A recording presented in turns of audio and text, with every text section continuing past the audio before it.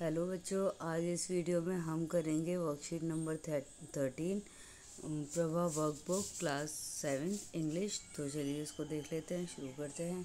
सबसे पहले हमें दो सेंटेंस दिए हुए हैं, Rohan is writing a letter Rohan letter को लिखता है और मल्हार इज़ प्लेइंग कबड्डी, मल्हार कबड्डी खेलता है।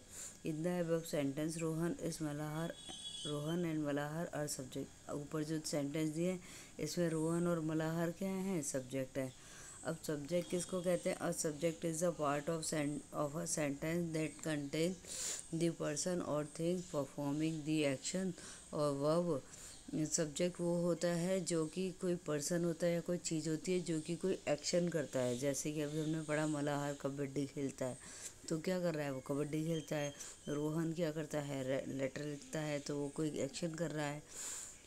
और सब्जेक्ट में भी noun on a pronoun subject क्या हो सकता है? नाउन भी हो सकता है प्रोनाउन भी हो सकता है, यानी संज्ञा भी और विशेष वो संज्ञा भी और सर्वनाम भी। अब हम क्वेश्चन नंबर वन देखते हैं। Underline the subject in the following sentence जो हमें ये सेंटेंस दिए हुए हैं, इनमें जो सब्जेक्ट है, उसको अंडरलाइन करना है। तो सबसे पहले जो हमारा सेंटेंस दिया हुआ है, वो है मेहू कॉम्स हर हेयर। तो हम किस पे अंडरलाइन करेंगे? मेहू पे।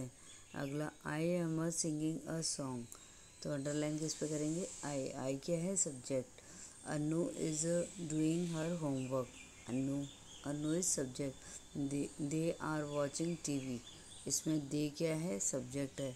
वी हैड लेफ़्ट फॉर वासवारा तो इसमें वी क्या है? Subject, Nannu speaks English Nannu क्या है? Subject he sweep the floor he subject a cobbler mends shoe cobbler क्या है? Subject my mother goes to temple daily my mother क्या है इसमें? सब्जेक्ट आगे का देखते हैं।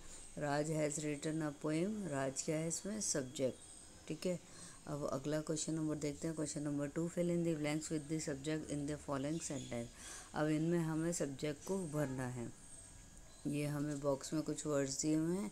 इनका इस्तेमाल करते हुए हमें इन सब्जेक्ट्स को भरना है, फिर इन ब्लैंक्स को भरना है। Dash are an intelligent boy you are an intelligent boy is driving a car Ansh is driving a car is grazing in the field a cow is grazing a field in the field bark at the stranger dog bark at the strangers have done my home, my work, myself, home, I. इसमें लिखेंगे हम I I have done my work myself अगर आप मेरे channel पर नए हैं तो चैनल को सब्सक्राइब कीजिएगा. Thank you